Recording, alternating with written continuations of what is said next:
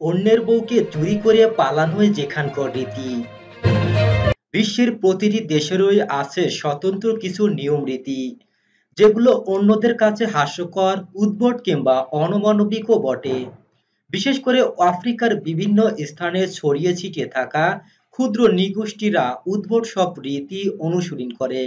সেখানকার তেমন এক উৎসব হলো অন্যর বউকে চুরি করা। খানিকটা অবাক করা হলেও সত্যি যে এমনও এক ধরনের উৎসব পালিত হয় আফ্রিকায়। অন্যের বউকে চুরি করা হলেও এতে নেই কোনো শাস্তি। যুগ যুগ ধরে পশ্চিম আফ্রিকায় নাইজারের যাযাবর ক্ষুদ্র নিগোষ্ঠী ওভাবেই এই উৎসব পালন করে আসছে।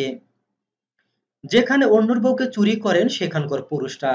এ কারণেই এটি বউ চুরির উৎসব নামেই পরিচিত।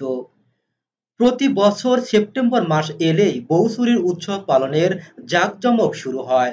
এক সপ্তাহ ধরে চলে এই উৎসব। ক্ষুদ্র নৃগোষ্ঠীরা একে বলে গেরে ওল উৎসব বলে থাকেন।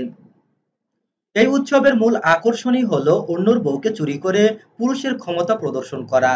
সবচেয়ে অবাক করা বিষয় হলো, যেসব পুরুষ অন্যর বউকে নিয়ে পালায়, তাদের স্ত্রীরা এই উৎসবে অংশ নেন।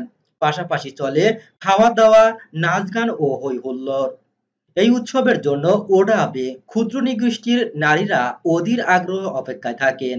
কারণ এই উৎসবে তারা নিজেদের পছন্দ মতো পুরুষ সঙ্গী বাছাই করে নেন। এই উৎসবের ইয়াকে প্রতিযোগিতার মাধ্যমে নারীরা তাদের পছন্দের পুরুষকে বেছে নেন। এই প্রতিযোগিতায় পুরুষরা নারীদেরকে আকৃষ্ট করতে নাচেন। ওডাবে ক্ষুদ্র নিগোষ্ঠী এই উদ্ভট উৎসবের মাধ্যমে নারী পুরুষরা একে অন্যের পছন্দই জীবনসঙ্গীকে নির্বাচন করেন। তারা আগের সম্পর্ক ভেঙে নতুন করে জীবন গড়ার স্বপ্ন দেখেন, যা বিভিন্ন ধর্ম ও সামাজিক আইনে অবৈধ। এছাড়াও ওডা আবে ক্ষুদ্র নিগোষ্ঠীর মেয়েরা বিয়ের আগে যার সঙ্গে ইচ্ছে সম্পর্কে যেতে পারে, এসব বিষয় তাদের কাছে খুবই স্বাভাবিক ও বৈধ। আবার বিয়ের পরও তারা যত খুশি স্বামী রাখতে পারেন। এই ক্ষুদ্র নৃগোষ্ঠীর নারী ও পুরুষ তাদের শারীরিক সৌন্দর্য নিয়ে গর্ববোধ করে। এই উৎসবের কয়েক মাস আগে থেকেই পুরুষরা প্রতিযোগিতার জন্য নিজেদের তৈরি করা শুরু করে। ওরাবে পুরুষদের ধারণা, তাদের সৌন্দর্য লুকিয়ে থাকে চোখের ধবধবে সাদা ভাব, লম্বা নাক ও ঝকঝকে সাদা দাঁতে। তাই রূপচর্চার জন্য সঙ্গে আয়না রাখতে ভুলেন না তারা। বৌচুরি প্রতিযোগিতা শুরু হওয়া প্রায় ছয় ঘণ্টা আগ থেকে সাজগোজ করেন পুরুষরা। মুখে মাখেন লাল মাটি, চোখে লাগান কাজল, ঠোঁটে দেন লাল লিপস্টিক। একই সঙ্গে নাকে সাদা বা হলুদ রেখা টানেন। আবার মাথার চুলে বিনুনি করে পুঁতি ও করি লাগান। মাথায় পরেন উট পাখির পালক। এই প্রতিযোগিতায় বিচারক হন এই ক্ষুদ্র নিগোষ্ঠীর সেরা তিনজন বিবাহিত নারী। তারাই সেরা পুরুষদের বেছে নেন। আর এই বাছাইয়ের পর সেরা পুরুষরা তাদের পছন্দই নারীকে বেছে নিতে পারেন। ওডাবের সমাজে এই অমানবিক কর্মকাণ্ডই বৈধ বলে নির্বাচিত। এ প্রতিযোগিতার পরে শুরু হয় বউ চুরি উৎসব। নৃত্য প্রতিযোগিতা চলাকালীন এই পুরুষরা নাচের মাধ্যমে নারীদেরকে আকৃষ্ট করার চেষ্টা করেন।